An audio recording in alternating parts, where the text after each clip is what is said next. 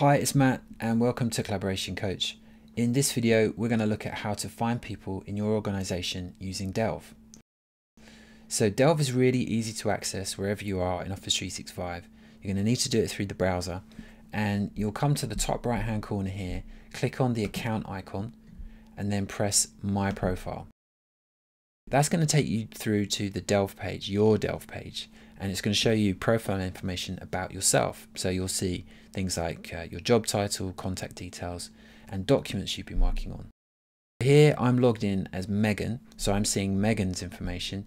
You can see down here we've got a card for her, uh, information about her, about me, experiences she's had, jobs she's had, and so on.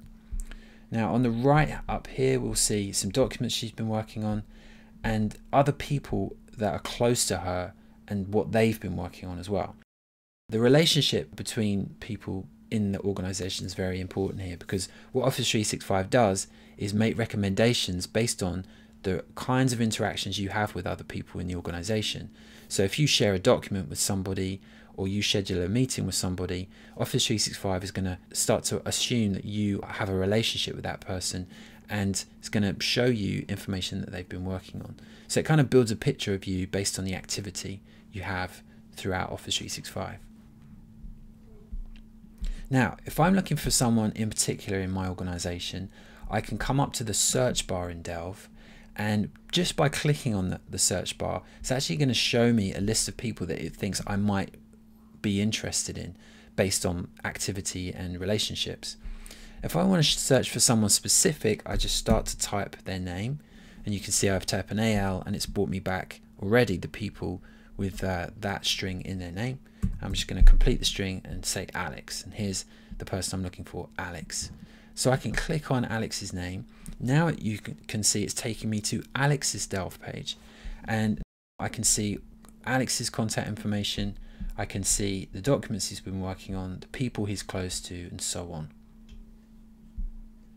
at the bottom here, you also see a, an organization chart. And I can click on to Alex's boss, Miriam, and it takes me to her Delve page. And now I can see all the same information about her.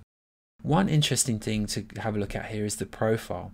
So if I click on view profile, it's going to take me into Miriam's profile and show me um, information about her, for example, projects she's been working on. So I can see if I was interested in connecting with someone who worked on a specific project, I could see here which project she's been working on. I've also got other things like skills and experience, schools and education, and even her interests and hobbies. You can see here she's interested in wine, for example. Now this is interesting because I can actually come up to the search bar again and type in wines and search for people interested in wine. So people who have wines in their profile. So that's important because it means that anything that you put in the profile is searchable. So if you want to be found through your love of wine, you can do that. So it's brought me back Miriam. I can click on her as a result and it will take me through to her Delve page. So in this video, we looked at how to find people in your organization using Delve in Office 365.